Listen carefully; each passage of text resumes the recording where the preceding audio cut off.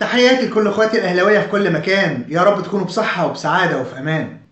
الأخ عمرو أديب طالع يدينا مواعظ وإزاي وإزاي نعمل إسقاط أو نهاجم النني أو عبد الله السعيد أو رمضان صبحي أو بالرغم إن رمضان صبحي مش موجود بس أنا قلت سيرته ماشي. أو صلاح أو غيره.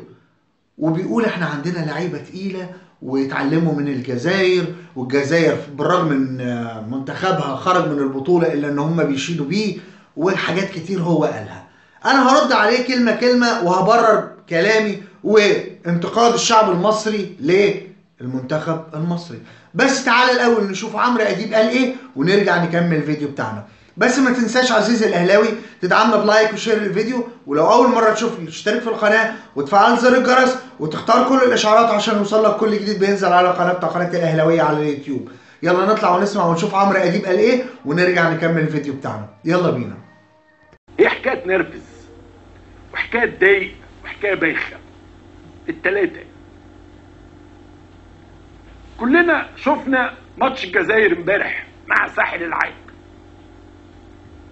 وايا كانت ملاحظاتك على المعلق اللي كان موجود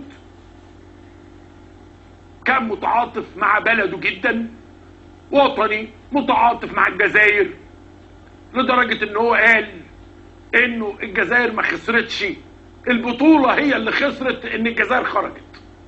شوفوا قد إيه.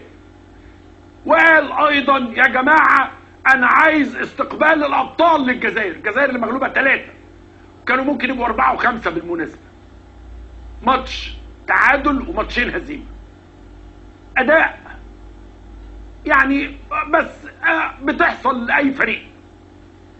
أنا ملياش دعوة بالأخ المعلق اللي متعاطف مع بلاده بطريقة غير طبيعية. يعني حتى كان يعني متعاطف قوي اللي أنا استغربت له يا جماعة إنه خلص ماتش الجزائر من هنا ولقيت الناس المصريين يقول لك إيه؟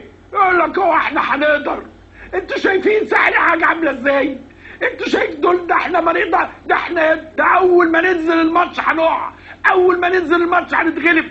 هو حد ده إحنا ما عندناش لعيبة. ده كروش ده ما بيفهمش حاجة. ده مش عارف إيه. ده إحنا هنتغلب. ده إحنا هنتبادل ده ده انت طالع ده انت صاعد للدور اللي بعديه. امال لو مغلوب كنت عملت فيه إيه؟ تكسير مقاديف من الدرجة الأولى. آه هو صلاح بيلعب خالص. صح بقى بس هو خايف على نفسه. صح ما بيلعبش غير في ليفربول. ده المدرب ما فهمش حاجة. ده مش عارف إيه هيفضل شغال مع عبد الله السعيد. ده إحنا مش هنقدر. ده الماتش هيبتدي الساعة 9 واستنوه في المطار الساعة 4 الصبح. طب ما تحط نفسك مكان اللعيبة. حط نفسك مكان اللعيبة يا أخي. ده الناس لسه بتقول بسم الله الرحمن الرحيم. طب أنا أنا أنا أنا مع أنا معاكم على اتفاق. استنوا أما يتغلبوا وبعدين حفلوا عليهم. يعني أقصد يعني استنى أما يتغلبوا وبعدين أبقى أقول بقى ما لعبوش آه سيئين آه ما ينفعوش آه فرقة تعبانة مدرب ما يساويش قول اللي أنت عايزه. إنما الناس بتقول بسم الله الرحمن الرحيم وبه نستعين. تقول له لا مش هتكسب طب اضحك عليه يا أخي. قول له لا ده انت جامد. لا ده أنا قلبي معاك. لا ده امبارح آه رياض محرز ضيع البنالتي. قال له ولا يهمك. ولا يهمك. انت عظيم. انت جبار. انت ما حصلتش. آه يا جماعة اقفوا جنب رياض محرز. وانت عندك فرقة فيها 100 رياض محرز هو صلاح ده قليل هو النني ده قليل هو الشناوي ده قليل هو الونش ده قليل هو أحمد حجازي ده قليل هو محمد عبد المنعم اللي لسه نازل صغير ده آه، قليل هو عبد الله السعيد ده قليل. ده كلهم تقايل يا جدعان. هو شريف الحريف ده قليل هو الناس دي كلها. طب استنوا عليهم لما يتغلبوا وبعدين بقى قطعوا. أنا مش قادر أفهم فكرة إن أنتوا بتقطعوا اللعيبة من قبل ما تلعب. اقف جنبه يا أخي. إديله ريح حلو. قول له ربنا معاك. أنت عظيم. الفراعنة وصلوا. آه آه، مصر أم الدنيا. آه، خدنا البطولة دي قبل كده 100 مرة. ساحل العاج مين ده؟ إحنا غلبناها 100 مرة. آه مش عارف إيه. ده صلاح إن شاء الله ربنا يكرمه في رجله الشمال. أي حاجة. وبعدين لما يتغلب بقول له إنما أنتوا بتلعبوا مع ساحل العاج.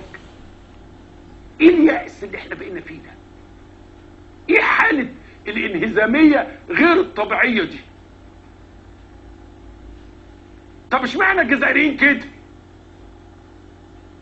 ده الجزائريين الراجل كان عامل لهم فرح. فرح. ولا يهمك.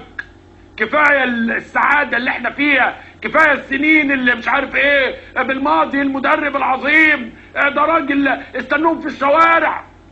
دول طالعين من الدور الأول. مغلوبين هزيمة غير طبيعية. مفيش مشكلة.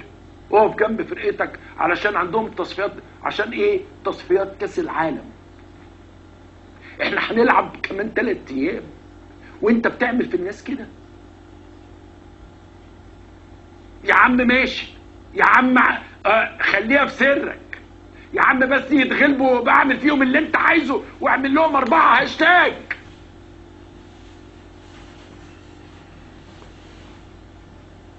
اللعيب اللي قاعد هناك ده في الأوضة وبيمسك ال social media كده هيقول إيه؟ يقول لك آدي الجمهور بتاعي آدي الناس اللي واقفة جنبي آدي آدي آدي الروح المعنوية. يا عم خلاص يا عم. طب هو يعني صلاح يعني ما يرجع ليفربول. وتريزيجيه يرجع أستون فيلا وعمر مرموش يرجع البوندسليجا ومش عارف مين كل واحد يرجع فرقته وياكل عيش وينبسط وخلاص وعفى الله عما سلف. ما تقفوا جنبهم يا جماعة. هو إيه؟ يعني إيه كلمة جمهور؟ يعني إيه جمهور محترم؟ يعني إيه جمهور كويس؟ يعني إيه جمهور واعي؟ يعني إيه جمهور مصري؟ يعني إيه جمهور الفراعنة؟ اقفوا جنبيهم. قاعدين تعملوا هاشتاجات مقرفة. والله مقرفة. اقفوا جنب الناس علشان إن شاء الله ليه ما نغلبش تعالى حاجة إحنا غلبناها 100 مرة قبل كده. إيه المشكلة يعني؟ ولو اتغلبنا ماشي خلاص. إيه يعني؟ ما الكوره كده مكسب وهزيمة. إنما من ده, ده أنت طالع شايف فرقة اتغلبت وأنت صاعد. ده أنت المفروض تقول له أنت صعدت للدور برافو. انت هايل انت بتتطور انت بتتحسن. انت كنت أول ماتش مش زي تاني ماتش مش زي تالت ماتش. أيوه الراجل ابتدى يعدل الملعب. الملعب كان معوج وابتدى يتعدل معاه. ابتدت اللعيبة تلعب في مراكزها. ابتدت اللعيبة تاخد ثقة. ابتدينا مش عارف إيه. يقول لك بص صلاح آه، لعب أربعة corner الأربعة ما كانوش قد كده. طب ما صلاح شاور آه، لعمر كمال وقال له تعالى العب انت ال- ال- الكرانر. يوم ما ما كانش ال corner بتترفع معاه كويس. يوم ما كانش رجله ماشية بس ما هو الماتش اللي قبليه جايب جون على رأي ميدو لما قال ما حدش عارف يجيبه. أنتوا بتنسوا ولا إيه؟ ده صلاح يا جماعة. واحد من أحسن ثلاثة لعيبة فعلا أنتوا ليه بياعين أنتوا ليه بتبيعوا الناس وهم لسه ما اتغلبوش؟ طب استنوا اما يتغلبوا. ادوهم ثقة اقفوا جنبيهم. قولوا لهم مصر بتحبكم. مصر عايزاكم تكسبوا. كنا زمان نعمل لهم أغاني. فجأة كده تلقى فنان راح عامل أغنية لمصر في الأمم الأفريقية. يجي عمرو دياب ولا هشام عباس ولا آه، مش عارف مين يروحوا عاملين أغنية وبعتنا للمنتخب فالمنتخب ينبسط فالروح المعنوية ترتفع. أنتوا إيه اللي بتعملوه في اللعيبة ده بالرغم إن عمرو أديب عنده كلام مهم وكلام يعني نظريا وكلام في ظاهره كلام صح ولكن كلام في باطنه لا في أخطاء كتير. معلش.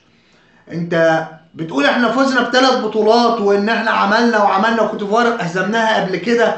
ولكن أنا عايز أقول لك على حاجة يا أستاذ عمرو إن النادي أو منتخب مصر في البطولة دي أداؤه يعني يعني أقول لك إيه، متدني وسيء ورديء للغاية. فالشعب المصري المتنفس الوحيد له إن هو يطلع الرأي بتاعه. حتى لو بكوميك أو بنوع من أنواع السخرية ولكن الموضوع ده مش موضوع فيه تهكم أو موضوع فيه يعني نوع من أنواع الجريمة ضد منتخب مصر أو ضد جماهير مصر. صلاح قليل آه قليل أنت بتقول صلاح قليل آه قليل شريف ما بيلعبش. اللي أنت عمال تقول لي شريف المخيف شريف هو بيلعب هو بيلعبه. مرموش قليل النني قليل عبد الله السعيد ضايع. ما الشعب المصري ما هو غصب عنه. يعني ناس بتاخد ملايين الملايين وشهرة وفلوس وربنا يزيدهم. ولكن في المقابل إيه؟ المحصلة إيه؟ بتفوز لي على السودان بالعافية بتفوز لي على بتتهزمني من نيجيريا بتلعب. بت- ده حتى الصحافة العالمية انتقدتنا يا راجل ده صلاح راجع يدافع وكله راجع يدافع حتى ال- الخطة الدفاعية والطريقة الدفاعية يعني اللي كان بيلعب بيها منتخب مصر بيها جار عليها الزمن. فالمنتخب له حق لما شاف الجزائر اللي انت بتقول ده هم بيشيدوا بيه علشان مش عارف طلع من المجموعات. آه بس ما تنساش إن لسه واخد لك بطولة العرب من من شهر. ما تنساش إن هو حامل البطولة. ما تنساش إن هو عمل يعني سلسلة اللا هزيمة من 2019 كل ده حققه منتخب الجزائر. وصل لكيرف عالي قوي قوي يعني وصل بالسهم بتاعه لأقصى حد يوصل له. فبالتالي لازم بتلاقي فيه هبوط في الأداء. لازم تلاقي فيه سوء في النتائج بعض الشيء. ولكن هيقوموا على رجليهم ويكملوا. منتخب الجزائر منتخب تقيل وشديد ومنتخب قوي. مش زي المنتخب المصري اللي اللاعب خايف على رجله اللي اللاعب بيلعب بالشوكة والسكينة. فشيء طبيعي يا كابتن عمرو ولا يا أستاذ عمرو. يبقى في متنفس طبيعي من جماهير مصر. يعني دلوقتي عايز حد انت بتقول لي صاعد. انت صاعد إيه؟ ده انت صاعد تاني مش صاعد حتى اول. انت في بطولة 2010 و2008 و2006 كنت بتعمل أحلى مستوى وأحلى أداء وأحلى كورة. حتى لو تتغلب الجماهير هتطلع تسقف لك. دلوقتي العكس انت بت بتصاعد لكن الجماهير بتنتقدك. يبقى العيب في مين؟ في الجماهير ولا في كروش واللعيبة يا أستاذ عمرو؟ وما ينفعش. وبقول لك يعني في مثل أو مقولة بتقول لك لكل حديث حديث أو لكل مقال مقال. ما ينفعش إن أنا أستنى بعد ما البطولة تخلص والناس تقعد تتكلم وتقول لي استنى لما المنتخب يطلع. لا ما إحنا بنقول لك إن أنت وحش في الحتة دي علشان تحسن من نفسك في البطولة وتكمل. إحنا مش هدفنا إن منتخب مصر يطلع. لا قدر الله إحنا عايزين المنتخب يفوز ويوصل للنهائي. ويحقق البطولة لو استطاعته إن هو يحقق البطولة. ولكن كيروش والعبط اللي بيقوله ويطلع يقول إحنا أنا عايز الشعب المصري يفرح عايز الشعب المصري يهلل إن إحنا فزنا على السودان وصعدنا. فهل ده كلام يرضي ربنا؟ هل ده كلام يعني يرضي عمرو أديب كمشجع للمنتخب المصري؟ أظن ما يرضيهوش. انتهى الفيديو بتاعنا. ما تنساش عزيزي الأهلاوي تدعمنا ب like و share ولو أول مرة تشوفني تشترك في القناة وتفعل زر الجرس وتختار كل الاشعارات عشان يوصلك كل جديد بينزل على قناتنا قناة الأهلاوية على اليوتيوب. بشكركم مرة واثنين وثلاثة وعشرة. كان معكم أخوكم هاني الشرقاوي. والسلام عليكم.